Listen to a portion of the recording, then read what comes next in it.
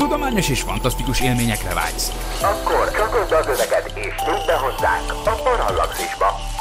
Parallaxis.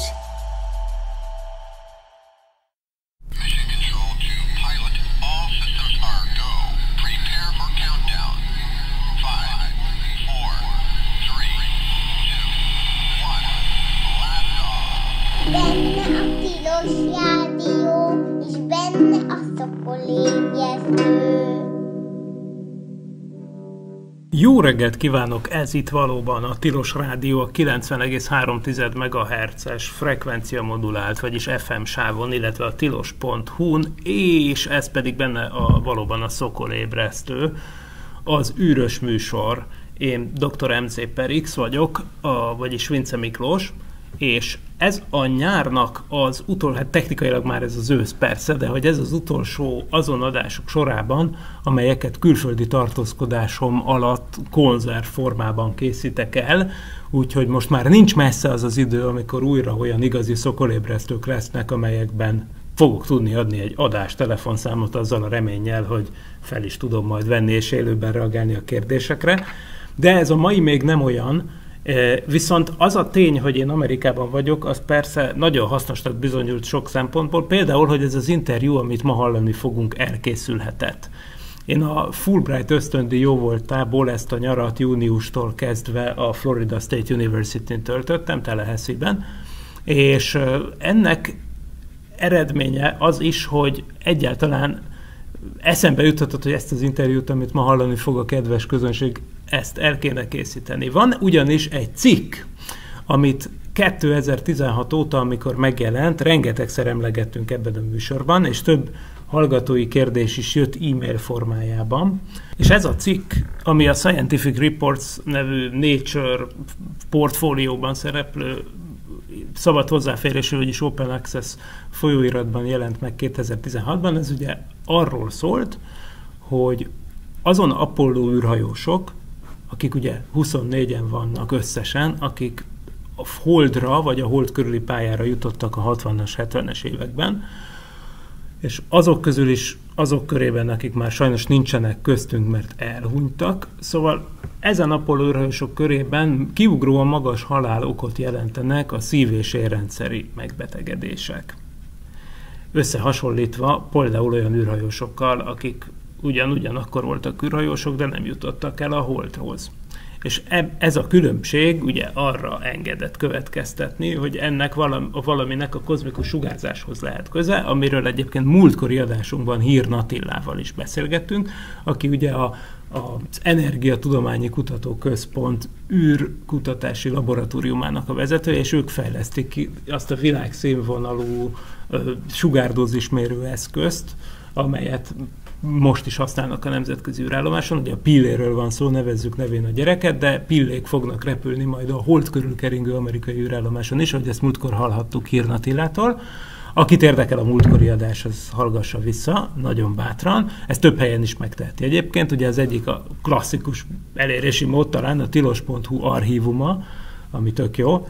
Másrészt pedig ugye ott van a mi kis honlapunk, és hát más podcastokat is tartalmazó média gyűjtőhelyünk, ez a Parallaxis, és ez a parallaxis.emtv.hu érhető el, az azért ad többet, mint a Tilos Radio Archívum, mert onnan Soundcloud meg egyéb formában is vissza lehet hallgatni ezeket az adásokat, illetve lehet hozzájuk olvasni kísérőcikket. Tehát Parallaxis emtv.hu, szóval oda elnavigál valaki, akkor könnyen megtalálhatja a múltkori, két héttel ezelőtti adásunkat, amiben tényleg a, az űrdozimetria, vagyis hát a, a, az űr, a kozmikus sugárzás nagyságának a mérésének az egyik magyar megkerülhetetlen alakját, dr. Hirn Attilát kérdeztük. Na de ne távolodjunk el, szóval az a kérdés, hogy igen, miért lehetett ez, hogy az Apollo űrhajósok körében, hogyha igaz egyáltalán ez az állítás, ilyen nagy arányban voltak ilyen megbetegedések, illetve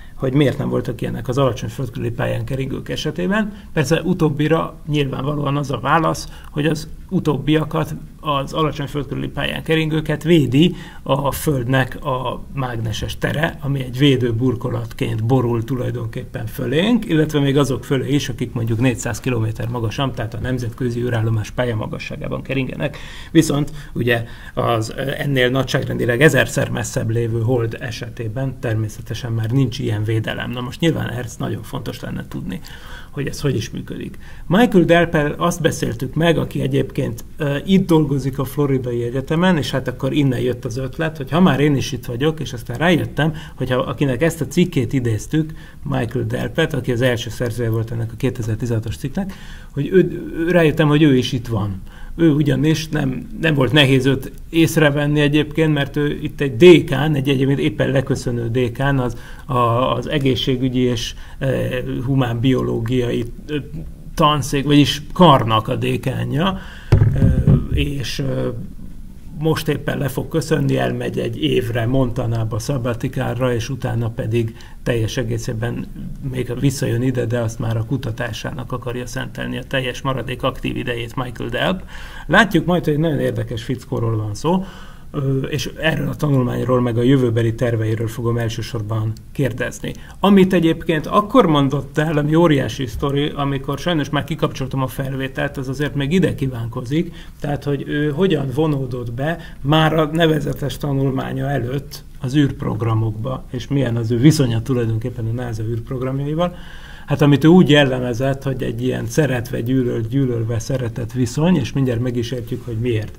Tehát az elősz, első alkalom, amikor ő, ő ilyen rákcsálókkal kapcsolatos fedélzeti kutatásra adott be egy pályázatot, az 1999-ben volt, akkor a NASA meghirdette, hogy lesz egy ilyen kizárólag tisztán tudományos célú űrrepülés, egy űrrepülőgépen, ami tehát nem műholdakat fog pályára állítani, nem a nemzetközi űrállomáshoz fog valami szállítmányt vinni, nem is fog összekapcsolódni a nemzetközi űrállomással, hanem az utolsó lesz talán, mondták akkor, azon repülések sorában, amelyek a Space Hub és Space Lab modulokkal felszerelkezve vágnak neki. Itt, bocsánat, ez a Space Hub volt, a Space Lab akkor már nyugdíjba ment, de mind a két dolognak az a lényege, hogy az űrrepülőgép rakterébe egy laboratóriumot szerelnek föl, és az űrrepülőgép kering a földkörüli pályán két hétig, és akkor lehet kísérleteket végezni a fedélzetén. Ezek egyike volt az, hogy lehetség, lehetőség nyílik majd rákcsálók tanulmányozására orvosbiológiai kísérletekre,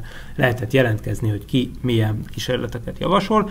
Óriási érdeklődés volt, és a világ minden tájáról jelentkeztek, tehát nem csak Amerikából, hanem ugyanez a pályázatot kiírták az európai és a japán űrügynökségek is ugyanerre a repülésre, és aztán mentek a, a meghallgatások, pályázatokat kellett beküldeni, előadásokat kellett tartani, aztán végül kiválasztottak két kutatást, és ezek egyike volt Michael Delp. Tehát 1999-ben megszületett a döntés, hogy ezen a repülésen Michael Delp kísérlete repülni fog. Na most ez úgy néz ki, hogy persze a rákcsálókat kiteszik mindenféle hatásnak, amit éppen vizsgálni akartak, most ebben ne is menjünk bele, hogy ez mi volt ebben a projektben, és akkor utána közvetlenül a földet érés után a rákcsálókat megvizsgálják, alaposan felboncolják, amelyeket fel kell boncolni, félreteszik későbbi elemzésekre, akikkel követéses vizsgálatokat terveztek, stb. annak rendje és módja szerint. Tehát ez így történik. És tehát Michael Delp és egy másik csapat nyerte meg, összesen ketten ezt a grantet. És ennek megfelelően el is kezdték a kísérlet tervezését és kifejlesztését. Ám ahogy ez lenni szokott az űrprogramban, ugye csúszott, csúszogatott a dolog, egészen konkrétan már négy éve halasztgatták a repülést, ennek elsősorban éppen az volt az oka, hogy ez nem egy olyan sürgős repülés volt olyan értelemben, hogy nem a nemzetközi űrállomásra kellett, mit tudom én, vizet fölvinni, vagy egy új modult, tehát igazából minden más repülés előnyt élvezett ehhez képest, de végül aztán 2003 elején sor került a startra. És hát ott is volt a Kennedy űrközpontban Michael Delp és a családja, meg is nézték a startot, És aztán a repülés végén pedig ott voltak előkészülve, hogy várják az űrrepülőgép visszatérését. Ez pedig úgy történt, hogy persze ott már rögtön a kifutópálya végénél, ahova az űrrepülőgép megérkezik, konténerekben előkészítve, Delp és a csapata ott várakozott, hogy azonnal, ahogy leért az űrrepülőgép, ők hozzájuthassanak a patkányokhoz, és elkezdhessék a vizsgálataikat, hiszen voltak olyan vizsgálatokat, amik, amiket azonnal a leszállás után el kellett végezni, ugye ez volt a kutatásnak az egyik fontos része. És hát emiatt aztán persze a helyszínre kellett vinni a poszdokokat, meg a kutatásban résztvevő többi embert, és ráadásul két csapatot alakítottak, hogy ők majd váltásokban dolgoznak, hogy este leérkezik az űr, vagy délután leérkezik az űrrepülőgép, és akkor elkezdi a boncolást az egyik csapat, meg a kiértékelést, aztán utána jön a másik csapat, aki addig pihent, és akkor így váltásokban gyorsan megcsinálják az repülés utáni analízisnek ezeket a részeit. Tehát nagyon készültek, tűkön ülve várták, hogy megérkezzen az űrrepülőgép, ment is a nagy visszaszámláló, ami azt mutatja, hogy várhatóan mennyi idő múlva érkezik le az űrrepülőgép, és aztán az a visszaszámláló leketyeget nullára, de nem történt semmi, és az űrrepülőgép sohasem érkezett meg. Ez volt ugye a Kolumbia űrrepülőgépnek a tragédiája 2003. február 1-én, hogy a légkörbe belépve darabjaira szakadt és életét vesztette a repülésen hat amerikai és egy izraeli űrhajós, ugye Ilan Ramon volt az országának az első képviselője az űrben, és hát nem csak ők vesztették életüket a repülésen ezek szerint, hanem még sok kísérleti patkány is, amelyek tehát soha nem jutottak vissza Michael Delpékhez. Szóval így kezdődött Michael Delpnek a, az érintettsége az űrkutatási programban és aztán utána még két repülésben vett részt a Space Shuttle program idején, a másodikkal nem is volt semmi gond. A harmadik repülés az már a Shuttle program legvége felé volt, 2010-ben, amikor is rendben visszaért a, a szállítmány, megcsinálták az analízist, ugyanúgy végrehajtották ezt a repülés utáni boncolós, gyorsan ráugrós, kiértékelős történeteket, és akkor ezek után hajnali fél háromkor tök fáradtan Michael Delp elindult az Kennedy űrközpontból Orlandó felé vezető autópályán hazafelé, és akkor persze ő ment. 60 mérföld per órával, a szembejövő ment. 80 mérföld per órával, és egy sávban találkoztak, amelynek az eredménye egy frontális karambol lett, mégpedig egy olyan, amit nem szokás túlélni, a másik érintettnek nem is sikerült. Michael Delpet csodával határos módon tudták megmenteni, és utána még műtétek sora várt rá, tehát ott minden valószínűség szerint azt mondták maguk az orvos kollégái is neki, hogy hát meg illet volna halnia, hogy úgy fogalmazzam csúnyán. Ráadásul olyan vérrögök kerültek az utóhatásaként a tüdejébe, amit tényleg még több éves műtétekkel sikerült aztán végül helyre tenni, és többször volt kritikus állapotban Michael Delp. Tehát olyan emberről beszélünk, aki, aki többször is, hát egyszer egyik oldalról, másszor pedig így közvetlen oldaláról megtapasztalta ilyen halál közeli élmények keretében azt, hogy hát milyen is ez az űrkutatás biznisz, és hogy tényleg az emberek mennyit tesznek bele, tehát esetenként, lásd a Kolumbia űrhajósait, életüket áldozzák azért, hogy ezek az adatok meglegyenek, tehát ezek komoly dolgok mindenképpen. És ezt hajlamosak vagyunk elfelejteni manapság is egyébként azt gondolom, hogy már itt a, a civil űrutazásokról beszélünk, meg az űrturizmusról, de azért azt kell, hogy mondjam, hogy ez olyasmi, amit soha nem szabad szem előtt évesztenünk. De Michael Delp mindennek ellenére azt mondta, hogy megérte, és sose csinálna semmit másként, és nem választana semmilyen más kutatási területet. A most következő beszélgetésben tehát arról kérdeztem, hogy mi volt ennek, a, éppen, ennek az éppen öt éves tanulmánynak a, keletkezés története, és hogy hogyan is történt maga a kutatás, és mik a jelenleg és jövőbeli tervei. Ehhez még hozzátartozik annyi, hogy Michael Delp, és ez nem hangzik el az interjúban, de Michael Delp jelenleg egy több millió dolláros grantet kapott a NASA-tól, hogy vizsgálja ezeket a hatásokat.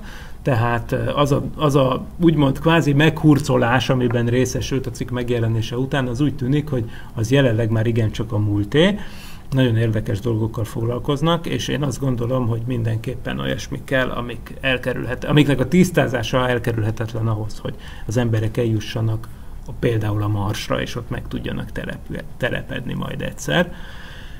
Még annyit tennék hozzá, hogy hallható lesz, hogy ez egy vacsora közben készült ez a felvétel. Ugye úgy történik ez, hogy nyilván én angolul beszélgettem vele, és akkor utólag itt megvágogattam, és hangalámondással láttam el, tehát én fogom úgymond hangalámondással szinkronizálni vagyis többé-kevésbé követni Michael Delp gondolat fonalát, meg a sajátjaimat is, de azért úgy gondoltam, hogy, hogy bár emiatt aztán persze nem nagyon hallható sok minden az angol szövegből, de atmoszférának azért mégis megtartottam itt azt, hogy, hogy hát ilyen, mit tudom én, ilyen Kepes András desszert stílusban lehessen hallani, hogy itt izé csörögnek itt a, az evőeszközök, meg minden, úgyhogy erre kell most itt felkészülni. Remélem nem lett ez a része túl hangos, ugye nyilván nem vagyok egy profi hangmérnök. Szóval így fog felcsendülni ez az interjú, ami egyébként itt a Florida State University gigantikus méretű foci, amerikai foci csapatának, a, a Seminolesnak, a stadionjának a tetején készült, ahol van egy elég luxus étterem, ahol nagy panoráma kilátás van a pályára, tehát ez valamiféle VIP galéria, ahol az ember úgy nézheti a meccset, hogy közben kajál. Hát ugye ő a hívott meg Michael Delp, és hát most éppen nem volt meccs, ugye az idény az akkor még nem kezdődött el, amikor két hete ezt az interjút csináltuk, de hát minden esetre nagyon érdekes és szép látvány volt, de még érdekesebb maga az interjú. Ezt hallgassátok szeretettel.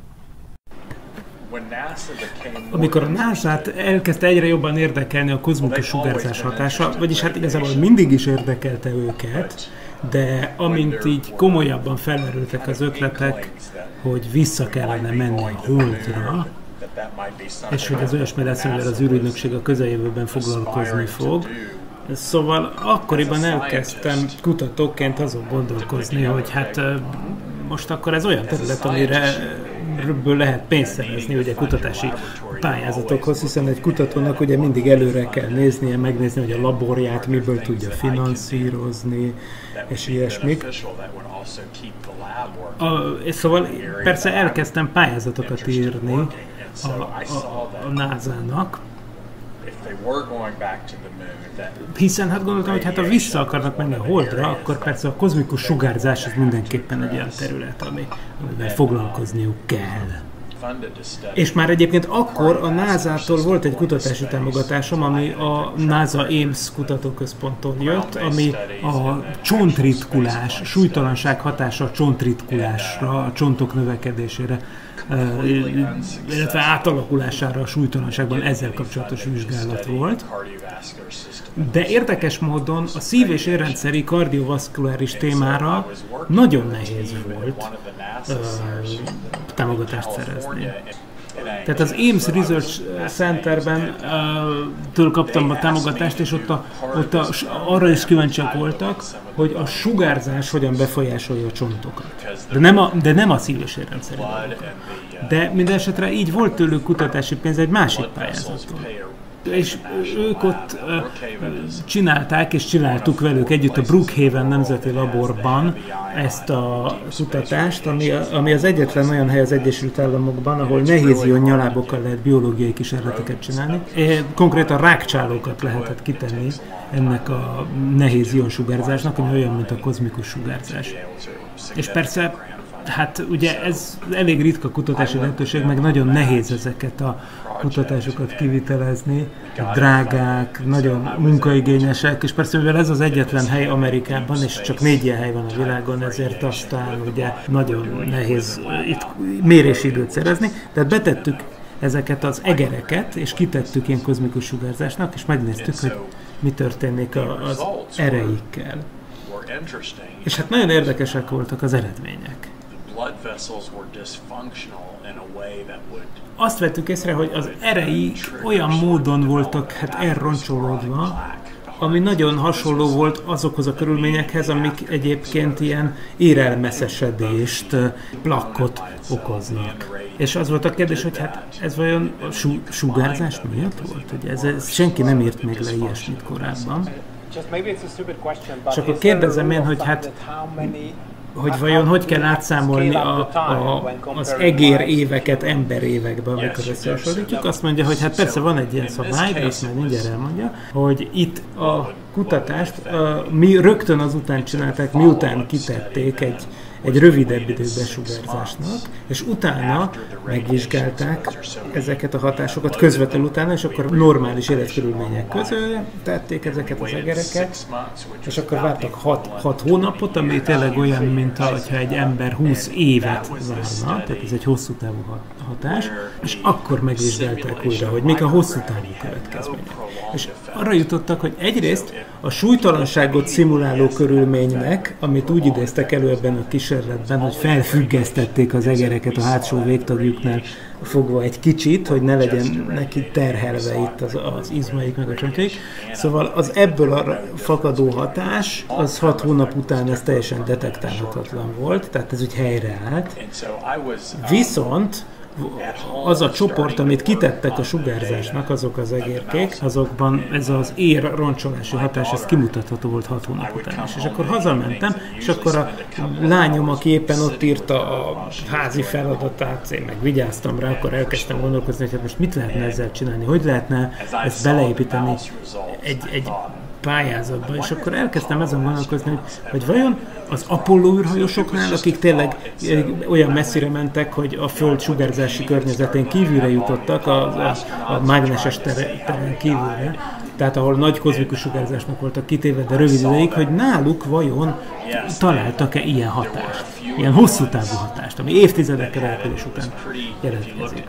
És persze ez nagyon nehéz, mert csak 24-en mentek össze, összesen oda. És ugye nagyon nehéz megnézni, de hát elkezdtem a, utána keresni az interneten, hogy milyen arányban szenvedtek eh, különböző megbetegedéseket az űrhajósok, illetve mik voltak a halálokai azoknak az Apollo űrhajósoknak, akik meghaltak. És akkor ugye észrevettem, hogy egy kicsit, mint a tényleg többen, többen lettek volna olyanok, akik ilyen szív- és érrendszeri betegségekben haltak meg, de hát az a probléma, hogy mivel hasonlítod össze az űrhajósokat. Hiszen ugye vizsgálták már ezt korábban is, hogy az űrhajósok körében mik a halálokok, más kutatások is, de nem nagyon tudták megtalálni a megfelelő kontrollcsoportot. Tehát ők mindig a, az általános populációval hasonlították össze, tehát az űrhajósok persze nem összehasonlíthatók, mert ők ilyen szuper emberek, akiket mindenféle bonyolult orvosi válogatás eredményeként választottak ki. Tehát elég furcsa lenne őket az általános, mondjuk amerikai férfi populációval összevetni, és akkor azon gondolkozom, hogy mi lehetne akkor a megfelelő kontrollcsoport. Tehát mivel lehetne őket összevetni, hogy itt szignifikáns, vagy értelmes eredményeket kapunk egyáltalán. És persze akkor eszembe jutott, hogy ugyanabban a korszakban, meg volt két másik űrhajós csoport is, amiket olyan projektekhez válogattak ki, például a MOL katonai űrállomás programjához, akiket ugyanazon egészségügyi kritériumok alapján válogattak ki, de aztán végül nem jutottak el a világűrbe, mert megszűntek a projektjeik. De ugyanúgy, ugyanolyan emberek, ugyanolyan egészségügyi kritériumoknak feleltek meg. És persze olyanok is voltak, akik ugye keresztül mentek ezeken a projekten, és be, bekerültek mondjuk a NASA űrprogramjába, de aztán végül valami miatt ugye kiszálltak a kutatócsoportból, ilyenek is voltak. Meg olyanok is, akik ugyan bekerültek a NASA csoportjába, de nem, a, nem jutottak el a Holdra, hanem csak föld körüli. És akkor elkezdtem megnézni, hogy ezekkel a csoportokkal összehasonlítjuk, ugye ugyanolyan oktatási háttérrel, ugyanolyan egészségügyi eh, háttérrel rendelkező csoportokból összevetve. És persze így is nagyon kevés, nagyon-nagyon-nagyon kevés a minta, ugye. Összesen 24 ember jutott alacsony földkörüli pályánál messzebb, tehát a holdra vagy a hold körüli pályára. Tehát nehéz ezt statisztikailag megoldani, de persze egyáltalán nem lehetetlen, különösen, hogyha az ember az arányokat nézi. Ez a Fisher Exact próba, ami, amit erre lehet használni, és akkor ezt használtuk, és akkor, mint én ezek, ezt használtam az ilyen előzetes elemzésekhez, az interneten talált halálozási információk alapján, újsághírekből, meg ilyenekből dolgozva, akkor az látszott, hogy habár az űrhajósok csak egy icipicit haltak többen meg szív- és érrendszeri betegségben, mint az általános populi- populáció, de hogyha összehasonlítjuk a nem holdi űrhajósokat a holdi űrhajósokkal, akkor azt találjuk, hogy szignifikánsan, brutálisan nagyobb arányban halnak meg, haltak meg ilyenben azok, akik, akik jártak a holdnál. Na most akkor, amikor jelentkeztem ez ügyben a Houstoni Johnson űrközponthoz, hogy hogy, hogy hát jobb adatok kellenének, mert hát eddig ugye újságcikkekből, gyászjelentésekből és ilyenekből dolgoztunk, de hogy jó lenne megszerezni a, a halotti anyakönyvi kivonatot, meg a ilyen orvosi zárójelentéseket, és, és a Johnson űrközpont ebben segítőkésznek bizonyult, és egyébként elkezdtük gyűjteni ezeket a dolgokat, és egyébként voltak korábbi tan- tanulmányok is ez ügyben, de nagyon érdekes és, és hát furcsa, számomra teljesen hihetetlen volt, hogy, hogy az Apollo űrhajósokat korábban ilyen tekintetben egyszerre vizsgálták a Mercury és a Gemini űrhajósokkal, tehát nem különítették el azokat az űrhajósokat a korábbi vizsgálatokban, akik elmentek a Holdhoz, azoktól, akik a Föld körüli pályán repültek csak. Ami egy furcsa dolog volt, hogy ez így senkinek nem jutott korábban eszébe. És akkor végül sikerült beszerezni ezeket a, a hitelesített eh, halotti bizonyítványokat, és uh, volt, amit ugye a, a, a kontrollcsoporttól nehezebb volt begyűjteni, mert ott a légierőhöz kellett menni. Ugye még egyszer ugye a kontrollcsoport az többek közt olyan űrhajósokat tartalmazott, akiket nem a NASA-hoz válogattak ki akkor, vagy ugye félbehagyták az űrhajós képzést. Nehéz volt utána menni, de majdnem az összes emberről sikerült találni ilyen hiteles forrást. Na és akkor ez volt az érdekes, hogy a NASA-n belül ugye két csoport volt. Az, az egyik ez a Johnson űrközpontbeli Houstoni csapat, akik nagyon segítőkészek voltak, és aztán ott volt ez a híres professzor által vezetett uh, űrorvostani sugárzási csoport a NASA-n belül, akik vehemensen ellenezték ezt az egészet.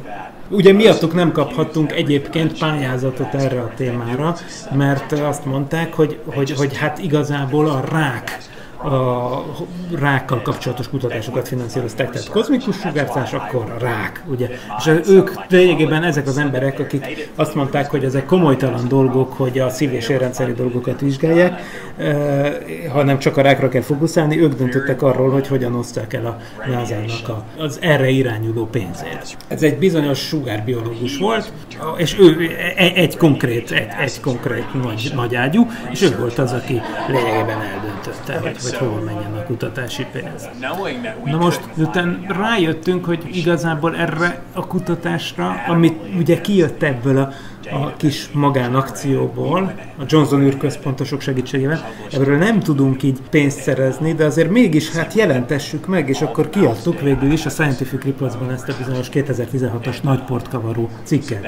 Tehát annak ellenére, hogy nem kaptunk rá támogatást, hanem ugye a, a, a, az egeres kutatást, meg ezt a halotti anyakönyves feltárást is lényegében a csontokra vonatkozó pályázati pénzből fizettük, de azért megjelentettük. És a megjelenés pillanatában iszonyatosan megtámadták ezt a cikket. Konkrétan ez a NASA-n belüli ö, sugárbiológiai csoport, akiről mondtam, hogy ők voltak ö, a prominensek eb- ebben a, a témakörben. Lényegében igyekeztek így ö, hát a nyilvánosság előtt lejáratni a, a tanulmányt, és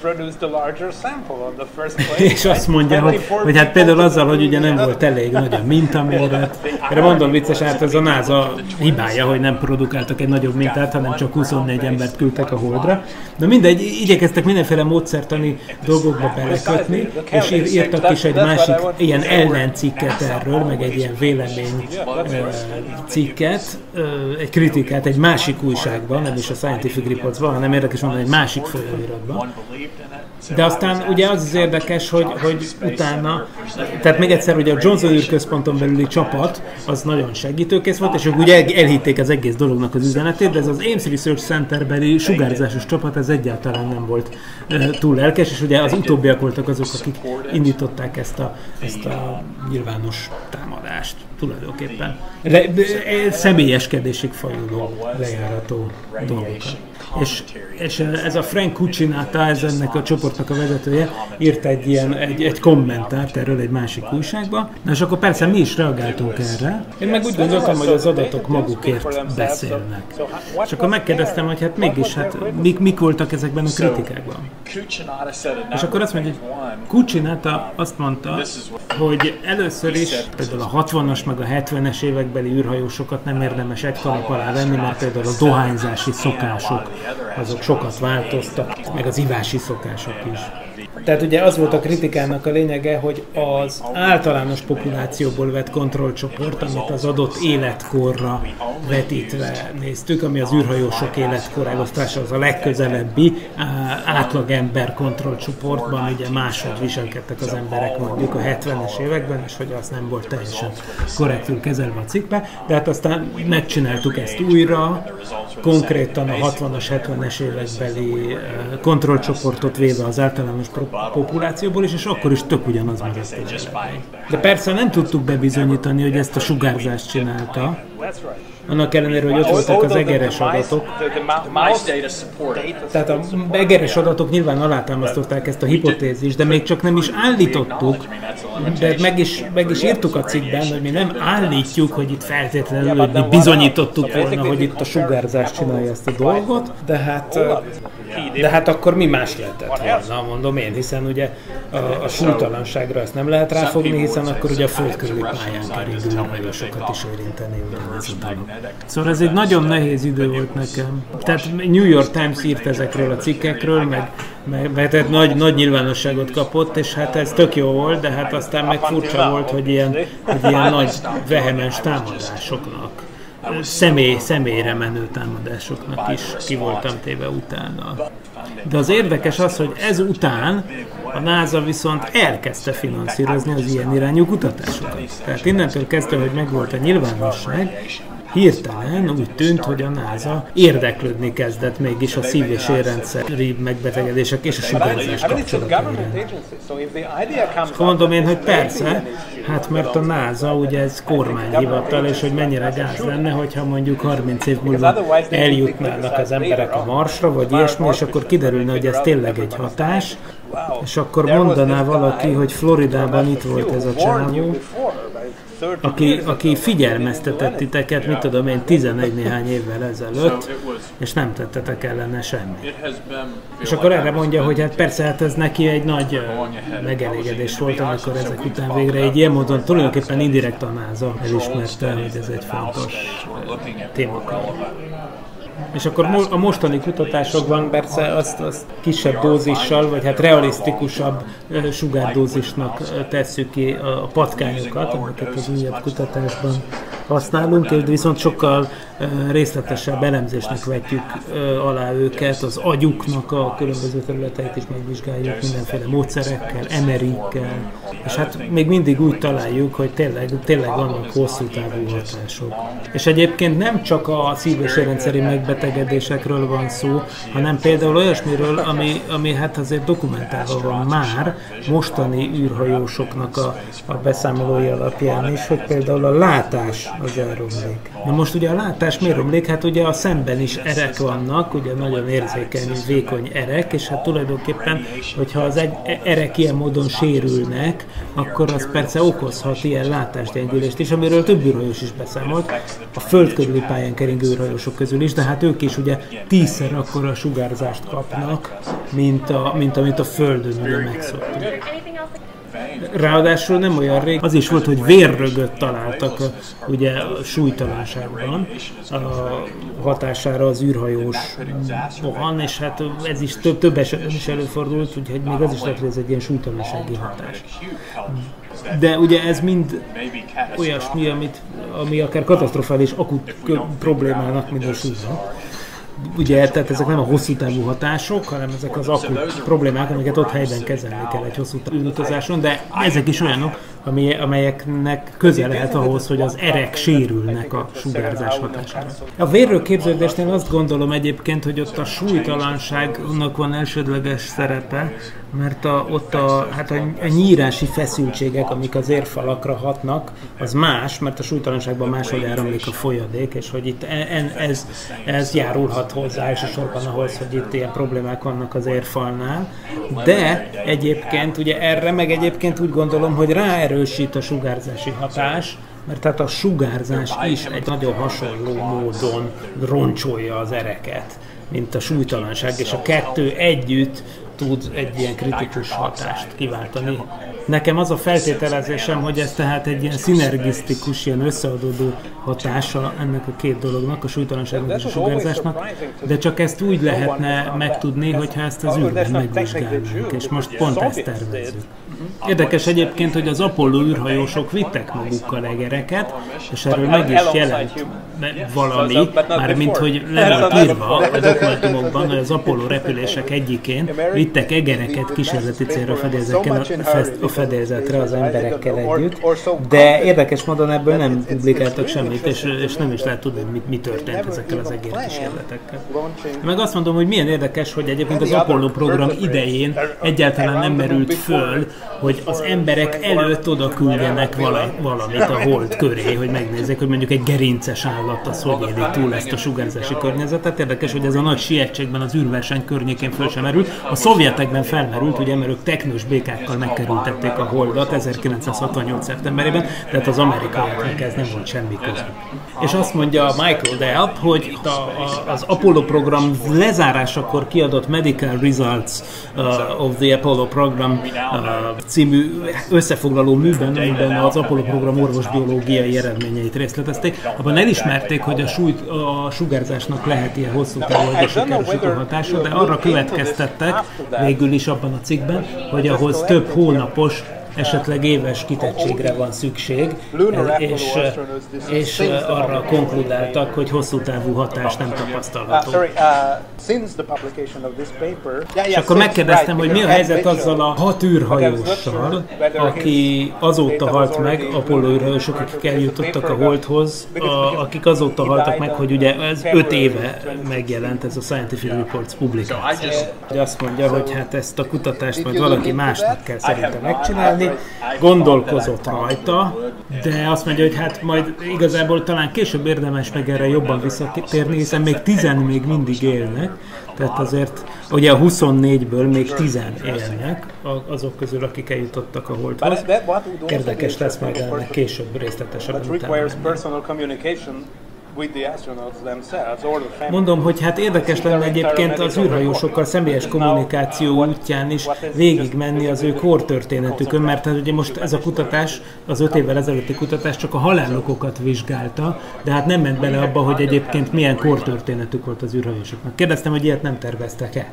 És azt mondja Michael, hogy hát igen, amikor ugye a Johnson űrközpontosokkal együtt dolgoztunk ennek a kutatásnak az előkészítésében, akkor voltak ilyen terveink, hogy ennek, ennek így utána megyünk pont így, ahogy mondod, hogy, hogy lekérjük, jobban elmerülünk az űrhajósoknak a, a kor történetében, és megszerezzük ezeket a dokumentumokat a, a Johnson űrközpont archivátorainak segítségével, és ezzel egy sokkal részletesebb elemzés vált volna lehetségessé.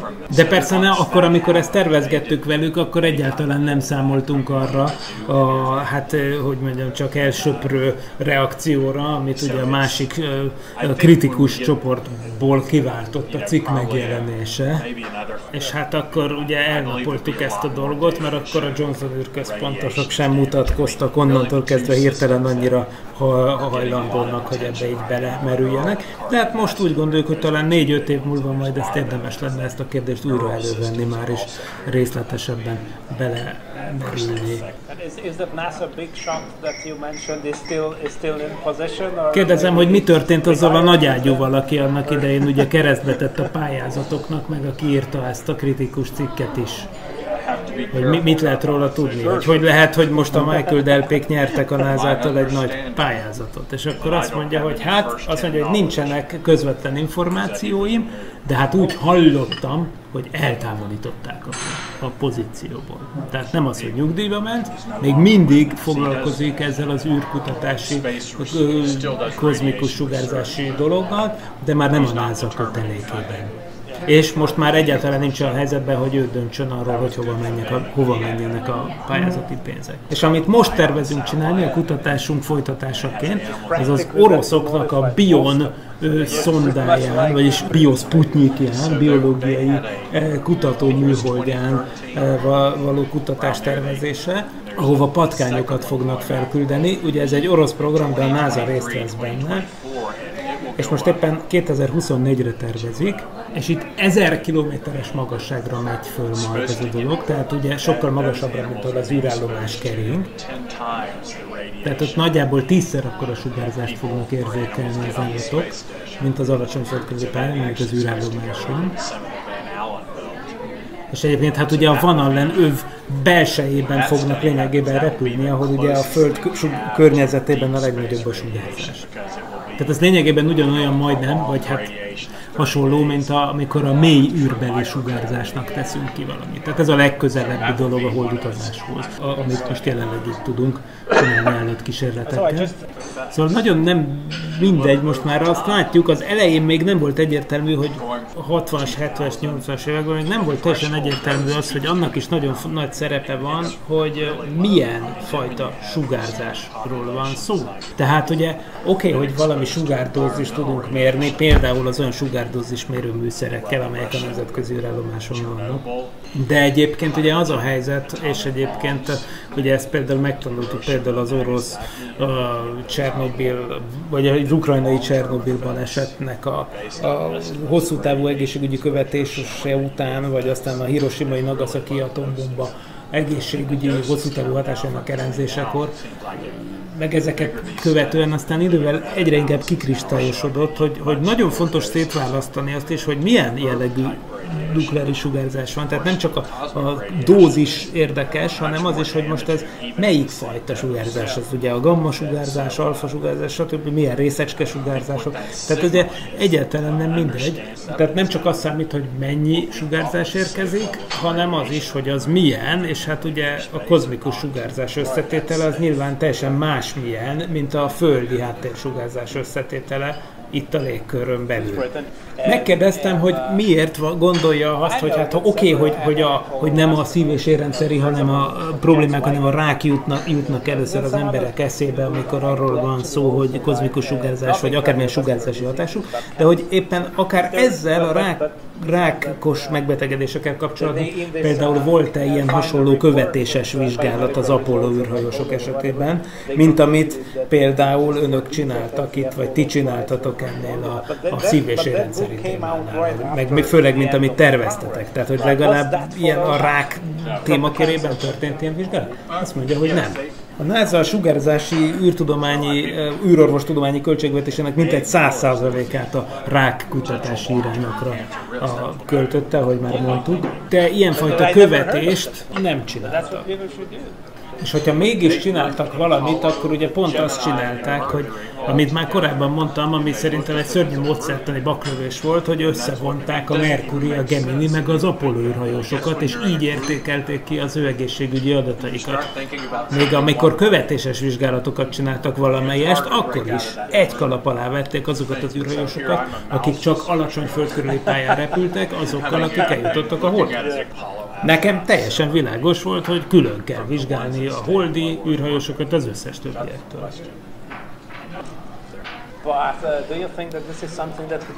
Azt kérdezem, hogy vajon ez, ez olyasmi dolog lehet egyébként, ez a szív- és érrendszeri dolog, ami hosszú távon veszélyeztetheti azt, hogy az emberek elmenjenek a, a Marsra például? Hogy emiatt ne vágjanak bele? Michael azt mondja, hogy ehhez túlságosan erős az a vágy az emberekben, hogy elmenjenek a zsírbe. Persze mindenkit ugye tájékoztatni kell, hogy milyen veszélyek vannak a repülésen, nyilván ez így lesz, ez eddig is így volt, de biztos vagyok benne, hogy rengeteg jelentkező lesz így is.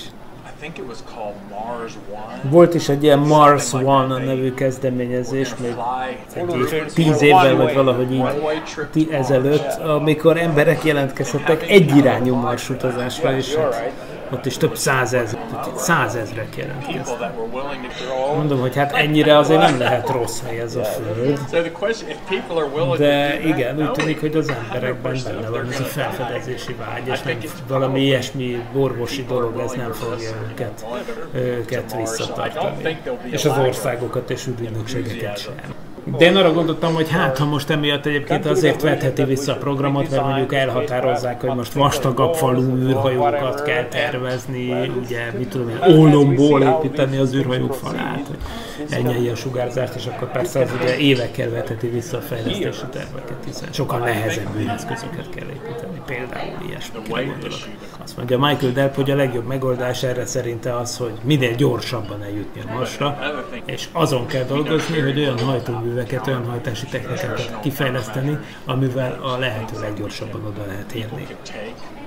Nekem az a véleményem egyébként, hogy a NASA az egy nagyon agresszív és kompetitív dolog volt annak idején, a 60-70-es években, hogy eljussanak a Holdra. És most már nem olyanok, azért most már ez egy teljesen másik, ez sokkal inkább veszélykerülő, kockázatkerülő intézményé vált az évek során. A különbség ahhoz, hogy most viszont szerencsére ugye ott vannak a SpaceX és a többi magáncég. Ez volt tehát az interjú beszélgetésem Michael Delpel, aki tehát a Floridai State, Florida State University Floridai Állami Egyetemnek a az egészségügyi karának a leköszönő dékánya, mi a leköszönés egyébként azt jelenti, hogy ő jelezte, hogy már nem kívánja folytatni, mert nem bírja már az administratív munkaterhelést, és a frissen megnyert kutatási pénzből történő kutatásra szeretné folytatni, vagyis azzal szeretné tölteni a hátralévő idejét a nyugdíjazásig, tehát ő kérte a felmentését a dékánság alól, de ugye ez úgy történik, hogy persze meg kell keresni az utódját, tehát az, hogy ő ezt aláírta, egyébként éppen egy órával az előtt, aznap írta alá, hogy csináltuk az interjút, és akkor ezt követően találkoztunk ott megvacsorázni, úgymond megünnepelni azt, hogy aláírta, hogy ő már nem lesz dékán, de ez nem azt jelenti, hogy azonnal felszabadul a munkaterhelés alól, persze, hiszen igazából még egy évig el kell látni ezt a feladatot, ennyi, úgymond, hát felmondási idő illik itt egy ilyen fontos pozícióhoz, mint a dékán. Na, de hát, mint mondtuk, azt az egy évet ő egyébként nem is Floridában fogja eltölteni, ez a trükk, hanem pont elmegy Montanába, az ottani egyetemre a következő egy évre egy ilyen látogató kutatást, ugye sabbatical. Ugye a sabbatical az olyan, ami elvileg 7 évente jár egy amerikai professzornak, hogy elmehet más helyekre egy évet, egy szemesztert, vagy két szemesztert eltölteni. Na, szóval, hát ő volt Michael Delp, igazából egy nagyon érdekes fickó ö, körvonalazódott ebből a beszélgetésből, és hát az látszik, hogy, hogy bizony milyen érdekes, hogy a tudományban is igen gyakran előfordul az, hogy van néhány nagyon prominens személyiség, akinek van egy nagyon határozott elképzelése arról, hogy mi hülyeség, és mi az, ami nem hülyeség, hogy mire nem kell, és mire kötelező költeni a pénzt, és ilyen módon ugye egy-két embernek lehet akkora impaktja, hogy évekig tulajdonképpen valamiféle underground létezésbe e, taszította le ezt az egész szív- és kutatást, ez a bizonyos Kucsunáta professzor, aki többször, aki hát a nemezise tulajdonképpen a Michael Delpnek, ahogy ez ebből az interjúból nyilvánvaló. Persze nekem itt hozzáértési hiány nyilvánvaló, hogy nem tisztem itt bármilyen módon igazságot tenni egy ilyen űrorvos biológiai kérdésben, de az nyilvánvaló, hogy természetesen a dolog mindenképp megérdemelné némi további vizsgálódást és persze természetesen egyet kell, hogy értsen mindenki, és Michael Delp maga is egyetért azokkal a kritikákkal, hogy hát nem valami nagy minta ez, hogy az Apollo űrhajósok hányan és miben haltak meg, és jó kérdés, hogy mennyire reprezentálja a valóságot, de hát épp ezért kell vizsgálni, és hát persze az meg egy ilyen furcsa körülmény, hogy hát ennyi embert sikerült eljuttatni a Holdra. Ez van, ezzel kell főznünk. És hogyha már az Apollo programról és Apollo űrhajósokról beszélünk, mert pedig róluk beszélünk, akkor hagy, hadd ajánljam a, a, az emlegetett parallaxis felületünkön ugye múlt héten megjelent interjút, ami a Parallaxis Podcast 51. adása, az új évad első adása, és ebben az adásban beszélgettem egy jót, nem mással, ugye, mint Russell Schweig által, aki egy Apollo űrhajós, aki az Apollo 9-en repült, és azóta sem tétlenkedett, tehát ne, azon kívül, hogy 1969-ben valóban ő lett az, a világ első holdkomp pilótája, hiszen az Apollo 9 volt az a repülés, ahol először repült a teljes Apollo űrhajó rendszer, Saturn 5 rakéta, Apollo parancsnoki egység, műszaki egység és a Holdkomp, tehát ez volt a Holdkompnak az első repülése, földkörüli pályán végzett tesztrepülés volt, de hát hajmeresztő repülés volt, rengeteg újdonsággal, és tökéletes sikerrel végződött. Erről is beszélgettem Raszt és Fejkártal, mindenkinek nagyon ajánlom, hogy hallgassa meg, sőt nézze meg, mert videó formában is megnézhető. Ugye mindenhez, minden felületünkhöz el lehet jutni az emlegetett parallaxis.emtv.hu keresztül, és egyébként ugye Raszt és Fejkártal nem csak arról beszélgettem ott, hogy mi volt a 52 éve az Apollo 9-en, hanem arról is, hogy mit csinált azóta, persze annak is csak egy töredékéről, mert hát ő aztán egy igazi polihisztor, de többek között azzal foglalkozott, hogy, a, hogy egy javaslatot terjeszem be űrhajós kollégáival együtt az ENSZ elé, ami pontosan azzal kapcsolatos, hogy egy aszteroida eltérítést vagy földet fenyegető kisbolygó eltérítését hogyan kellene nemzetközileg koordinálni. Ugye kiderül, amiben az ember nem annyira gondol bele, én legalábbis mindeddig nem nagyon morfondéroztam ezen az aspektuson, hogy hát azért ez egy nagyon komoly geopolitikai kérdés. Egyrészt, hogy kifizesse azt a cechet, amiben az emberiség megmentése kerül, de ennél sokkal fontosabb kérdés, hogy még nyilván egy ország, vagy az országok egy kicsi csoportja fogja végrehajtani ezt az eltérítést, de ennél sokkal fontosabb kérdés, és ez már igazából morális és szervezési kérdés is, hogy miközben az eltérítés zajlik, lesznek olyan uh, időszakok, átmeneti szakaszok, amikor bizonyos országokban becsökken a becsapódás valószínűsége, de más országokban pedig átmenetileg megnő. Tehát miközben a becsapódás pontját letolják a földről, szépen lassan, fokozatosan, a becsapódás várható helyét, e- eközben az egyik országról egy másik ország területére átkerül, és akkor persze kérdés az, hogy hogyan kell ezt így leegyeztetni. Ez egy egyáltalán nem egyszerű kérdés, és Trusty Schweikart és űrhajós kollégái, akik az Association of Space Explorers, vagyis az űrfelfedezők szövetsége nevű űrhajós szövetség tagjai ezügyben nyújtottak be az ENSZ-hez egy javaslatcsomagot, még néhány évvel ezelőtt. Na, erről is kérdeztem. És ha már Association of Space Explorers, akkor igen, ez ugyanaz az űrhajós szövetség, aminek 2020-ban Magyarországon lett volna a kongresszusa Budapesten, azért 2020-at választották erre, mert ugye Farkas Berci repülésének az volt a 40. évfordulója, No de persze a Covid miatt elmaradt, viszont most jelen pillanatban úgy néz ki, hogy novemberben meg fog történni. Ez az űrhajós kongresszus Budapesten, persze majd alkalomattán arról is beszámolunk, ha tényleg megtörténik. De hát azért addig még sok víz fog lefolyni a Dunán, meg jön még egy újabb járványhullám, meg minden. Szóval mindenképpen érdemes azért erre figyelnünk. Tehát Rászt is Vejkártal is beszélgetünk erről, és érdekes, hogy ő is Michael Delpel azonos véleményem van azzal kapcsolatban, meg hát körülbelül mindannyiunkkal kapcsolatban szerintem, hogy itt az új előretörését az emberi űrtevékenységnek mindenképpen a SpaceX és a hasonló cégek jelentik, vagyis a magánszektor bevonulása az űr tevékenységbe, beleértve ide az emberek feljutatását is a világűrbe. És természetesen ez a nyár is ennek jegyében zajlott, ugye több adásban foglalkoztunk a kérdéssel, és minden bizonyal még fogunk is. Viszont most a mostani adásnak az adás ideje lejárt, úgyhogy legközelebb két hét múlva találkozunk, de akkor már, hát ha csak nem hoznak be valami kötelező karantént, akkor én igyekszem már a stúdióból jelentkezni. Tehát ez lesz, ha jól számolom, szeptember 20-án, vagyis négy nappal azután, hogy hazaérek Budapestre.